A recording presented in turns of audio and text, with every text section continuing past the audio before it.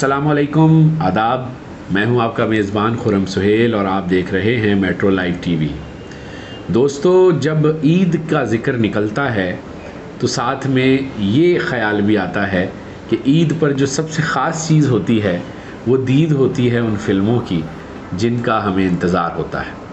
पाकिस्तानी फ़िल्मी सनत में यूँ तो खासा सन्नाटा है, लेकिन ईद के मौके पर हम देख रहे हैं कि काफ़ी शोर गोगा होने जा रहा है।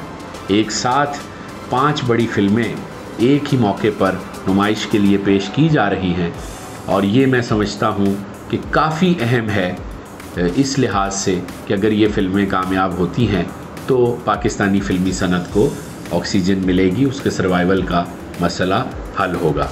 लेकिन क्या, कैसे, क्यों, बहुत सारे सवालात हैं कोशिश करेंगे आज की वीडियो में ईद पर रिलीज़ होने वाली पाँच फ़िल्मों की तफसील के साथ साथ इन सवालों के जवाब भी तलाश करें।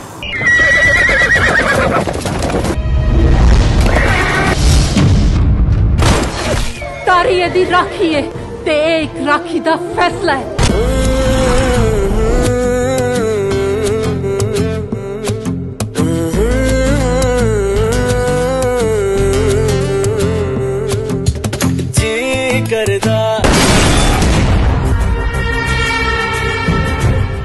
एक गोली तू कि देते चलाई? हक ते ऐसी कि गोली मेरी माँ ते हथ चुकण वाले नु वजदी सुन वे जे तू हुन होर ज़ुबान लम्मी करन दी कोशिश कीती ते तेरे हलक चो खिंच लीती जाएगी। कम किए मेरे पुत्र दा शरीक जेड़ा बच गया सी हुन ना बचे जेला कटिया कतल किते बुराइयाँ मुकाइया आज जिस बाबे ते रहम खा के आया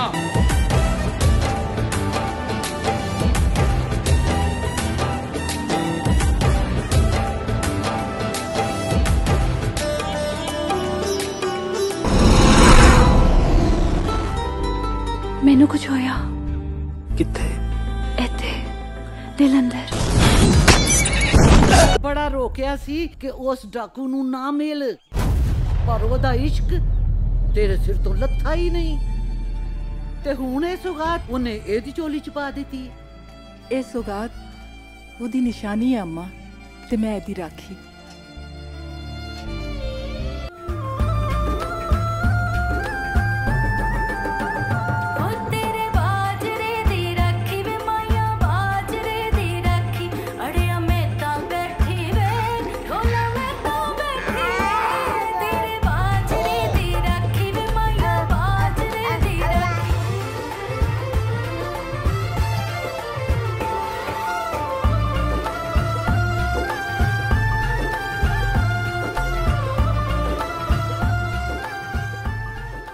ਚੋਰੀ ਚੋਰੀ ਵੇਖ ਤੇ ਸਕਨੀ ਹੈ ਮੇਰੇ ਨਾਲ ਚੋਰੀ ਚੋਰੀ ਸੈਰ ਨਹੀਂ ਕਰ ਸਕਦੀ ਗੱਲ ਸੁਣ। ਬੜਾ ਨੁਕਰ ਨੁਕਰੀ ਚੱਲਾ ਏ।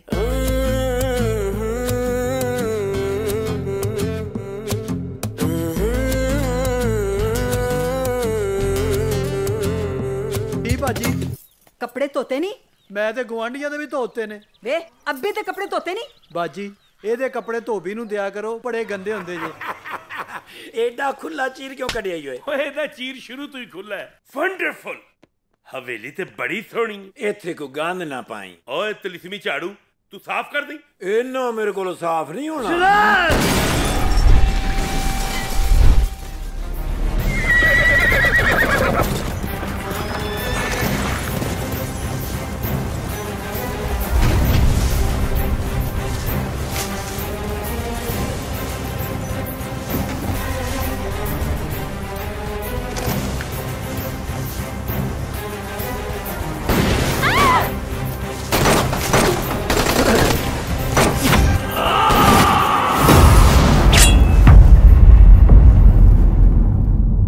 आज की बात शुरू करते हैं पंजाबी फ़िल्म से बहुत दिनों बाद कोई पंजाबी फ़िल्म नुमाइश के लिए पेश हो रही है और ये फ़िल्म इसलिए ख़ास है कि ये बनाई एक ऐसे फ़िल्म साज ने है जो उर्दू के साथ साथ पंजाबी फ़िल्मों का भी बहुत आ, माहिर फ़िल्म साज समझा जाता है। हम बात कर रहे हैं जनाब सैयद नूर साहब की।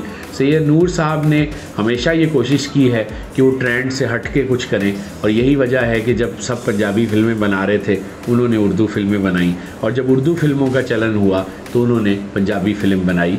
मजाजन उसकी एक बड़ी मिसाल है चूड़ियाँ उसकी एक मिसाल है। तो अब जब चारों तरफ़ मेन स्ट्रीम में उर्दू फ़िल्में बन रही हैं तो उन्होंने एक बार फिर पंजाबी फ़िल्म से जो है अपनी एंट्री दी है। तेरे बाजरे दी राखी ये एक आ, कह सकते हैं किसी हद तक माशरती अंदाज की कहानी पर मबनी फ़िल्म है साथ साथ रोमान भी है, इंतकाम भी है और दीगर माशरती मसाइल भी हैं। लेकिन कहानी का अंदाज़ वही दही पस मंज़र है जो सैयद नूर साहब का बहुत पसंदीदा मंजरनामा है। साथ में कहानी में कुछ नयापन नहीं है, सिवाय इसके कि इस बार जो मरकज़ी किरदार हैं, उसमें दो नए चेहरे मुतारफ़ कराए गए हैं। और अगर ये फ़िल्म कामयाब हो जाती है तो पाकिस्तान को दो नए फिल्मी अदाकार मिल जाएँगे। एक इसमें जन्नत मिर्ज़ा हैं, मशहूर टिकटॉकर, उनकी ये पहली फ़िल्म है और ये उनका डेब्यू है। और उनके साथ अब्दुल्ला हैं, ये भी नया चेहरा है। और ये भी पाकिस्तानी फ़िल्मी सनत के लिए चॉकलेटी हीरो के तौर पर नए हीरो के तौर पर साबित हो सकते हैं। उसके अलावा सीनियर कास्ट है, मुस्तफ़ा कुरैशी साहब हैं, उनके साहबजादे आमिर कुरैशी हैं, साइमा मरकज़ी किरदार अदा कर रही हैं, बाबर अली का मरकज़ी किरदार है। कहानी की तफसील में मैं नहीं जाऊँगा और इसमें कोई दो राय नहीं है कि कहानी बहुत आम सी है और इस कहानी पर पहले बहुत सारी फ़िल्में बन चुकी हैं।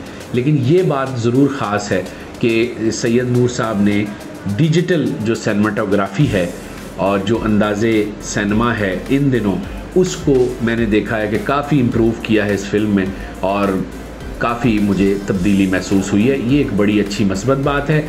बाकी अदाकारी कैसी होगी? और फ़िल्म की कहानी कैसी होगी ओवरऑल क्या होगा, ये तो फ़िल्म देखकर पता चलेगा। ट्रेलर बहुत अच्छा है, बहुत मज़ेदार है। उसमें वो जो एक पंजाबियत होती है, एक पंजाब का हुसन है और जो कल्चर की जमालियात होती है, मौसीकी जुल्फ़ार अली साहब की है, ये सब बहुत कमाल है। लिहाजा पंजाबी तनाजुर में हम समझते हैं कि पंजाबी ज़ुबान में इस तरह की फ़िल्में बननी चाहिए ताकि वो जो गंडासा कल्चर की छाप लगी हुई है, वो छाप उतर सके। और तेरे बाजरे दी राखी इस हवाले से एक अहम फ़िल्म है। अब ये फ़िल्म बीनों को कितना मुतासर करेगी, अभी कुछ कहना कबल वक्त है।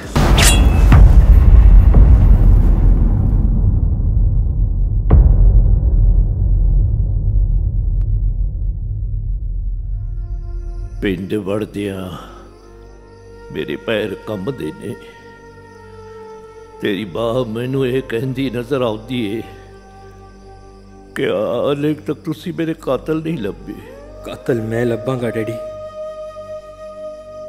ਹੁਣ ਤੁਸੀਂ ਪਿੰਡ ਉਸ ਦਿਨ ਆਓਗੇ जिस दिन कातलों की शहरग मेरे हाथ चोबेगी 2022 की ईद उल फितर पर नुमाइश के लिए पेश होने वाली पाँच फ़िल्मों में से एक और अहम फ़िल्म चक्कर है, जिसके प्रोड्यूसर हिदायतकार और शरीक मुसनफ़ या स्क्रिप्ट राइटर कह लें, वो यासिर नवाज़ हैं।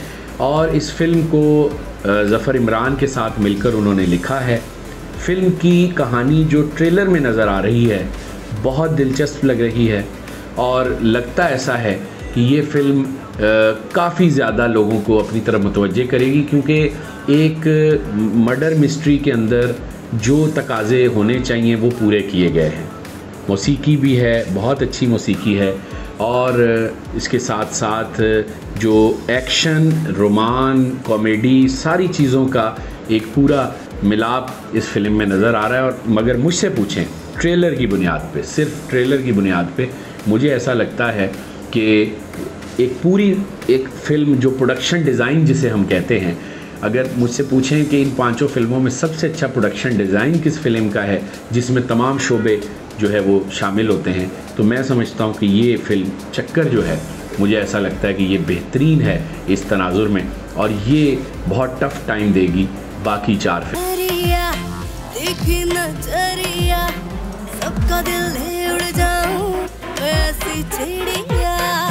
तू तू क्रेजी सबका दिल ले उड़ जाए, तू ऐसी चिड़िया। इस फ़िल्म की मौसीकी नवीद नौशाद की है और ये दाद देनी पड़ेगी कि फ़िल्म की कंपोजिशंस भी कमाल हैं और उनको पिक्चराइज भी बहुत ही अच्छे तरीके से किया गया है। एक मॉडर्न अंदाज का जो म्यूज़िक होता है और ख़ास तौर पे फ़िल्मों में जो आइटम नंबर की एक वैल्यू कमर्शियल तौर पर मौजूद होती है उसका भरपूर तरीके से इस फ़िल्म में ख्याल रखा गया है। और इस फ़िल्म में यासिर नवाज़, जो कि ख़ुद इस फ़िल्म के हिदायतकार भी हैं, उनके साथ साथ जावेद शेख, एहसन ख़ान, नीलम मुनीर और दीगर शमून अब्बासी समेत बहुत सारे अहम फनकार काम कर रहे हैं और कास्ट बहुत मज़बूत है। कहानी में बड़ा दम है और मुझे लगता है कि ये कहानी वाकई नाजरीन को चकरा के रख देगी।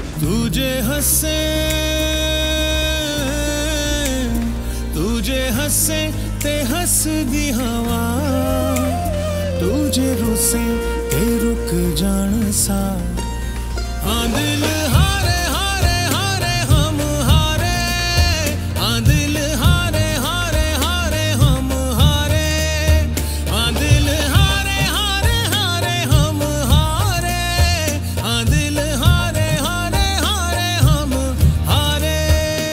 और इस फ़िल्म के जब हम गाने देखते हैं और या जो दीगर मनाजिर इसमें शामिल किए गए हैं, उसको देख के अंदाज़ा होता है कि फ़िल्म की सिनेमाटोग्राफी पर भी ख़ासा बारीक बीनी से काम हुआ है और इस फ़िल्म के सिनेमाटोग्राफ़र सलीम दाद हैं, जो किसी तारुफ के मताज नहीं, बहुत ही बासलाहियत सिनेमाटोग्राफ़र हैं। उन्होंने अपना बेस्ट काम इसमें दिया है। किसी भी सिनेमाटोग्राफी करने वाले की ये कामयाबी होती है। कि उसका नाम ना भी लिया जाए फिर भी काम देखकर पता चल जाए कि इसका सिनेमाटोग्राफर कौन है। शुरू से शुरू करते हैं। अगली फ़िल्म जिसकी मैं बात करने जा रहा हूँ उस फ़िल्म को बनाने वाले फ़िल्म साज की एक ख़ास बात यह है कि वो अपनी फ़िल्म का नाम हमेशा अवामी ज़बान का रखते हैं। कहीं ना कहीं से वो ऐसा कोई लफ्ज़ या जुमला उठाते हैं जो बहुत आवाम के लिए सुना हुआ हो। यानी आवाम की नफ्स पे हाथ रख के वो काम करते हैं। तो मैं आपको नाम बताता हूँ, आप वो जुमला पहचान जाएँगे। वो है घबराना नहीं है। फ़िल्म के प्रोड्यूसर जमील बेग और हसन ज़िया हैं और ये इनकी पहली मुश्तरका काविश है। इससे पहले हसन ज़िया को आपने यासिर नवाज़ की मुश्तरका प्रोडक्शन में देखा। वो भी अपनी जगह अच्छा काम था। हसन ज़िया साहब ने अपने कॉमेडी वाले सेंस को बरकरार रखा, उस मज़ाक के सिलसिले को आगे बढ़ाते हुए, उसमें कुछ एक्शन का सिलसिला भी शामिल किया है। तो इस फ़िल्म के लिए भी नेक तमन्नाएँ हैं। बहुत ही मुनासिब कहानी है। गो के नई तो नहीं है, कहानी वही रिवायती है। लेकिन उसका ट्रीटमेंट बहरहाल बहुत अच्छा है सिनेमाटोग्राफी बहुत अच्छी है। मौसीकी शुजा हैदर की है बहुत ज़्यादा मुतासर नहीं किया मौसीकी ने, लेकिन जो सबसे मुतासर कन बात इस फ़िल्म में है, वो इसकी कास्ट है। कास्ट बहुत मज़बूत है। अगर अदाकारी की बुनियाद पर किसी फ़िल्म को ऊपर जाने का मौका मिला तो मुझे ऐसा लगता है कि उसमें ये फ़िल्म घबराना नहीं है, सर फहरिस्त रहेगी।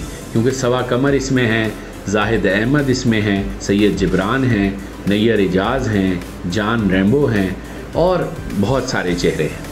तो लिहाजा इस फ़िल्म से भी उम्मीदें तो हैं, लेकिन अब वही बात है कि इस फ़िल्म की जो सबसे मज़बूत चीज़ है, वो इसकी कास्ट है। और देखते हैं कि कास्ट की बुनियाद पर इस फ़िल्म को क्या कामयाबी मिलती है, लेकिन हमारी नेक तमन्नाएँ हैं हसन ज़िया और जमील बेग साहब के लिए कि उनका ये इश्तराक मुबारक साबित हो। घबराना घबराना नहीं नहीं नहीं। शर्माना शर्माना नहीं नहीं नहीं। अगली फ़िल्म जिस पर मैं बात करने जा रहा हूँ उसका नाम है दम मस्तम। कोई क्रेडिट ही नहीं मिला। ओ वो तो गुमनाम ही रह गया। दम मस्तम दम मस्तम दम मस्तम दम मस्तम। एक फ़िल्म जिसमें एक लड़का लड़की है उनकी मोहब्बत है साथ में पेशा वराना हसद है दोनों कुछ बनना चाहते हैं ख्वाब हैं उनके कुछ। और फिर उसमें कौन जीतता है कौन हारता है? इसका आ, सारा मंजरनामा है। और जो इस फ़िल्म में मरकज़ी किरदार अदा कर रही हैं अमर ख़ान जो अदाकारा हैं उन्होंने ही ये फ़िल्म लिखी है और एहतशामुद्दीन ने इस फ़िल्म को डायरेक्ट किया है। और मौसीकी चार लोगों ने दी है। शानी अरशद हैं शराज उपल हैं अजान समी ख़ान हैं नवीद नाशाद हैं। तो इतना बड़ा म्यूज़िक का एक पूरा पैनल इसमें हमें दिखाई दे रहा है।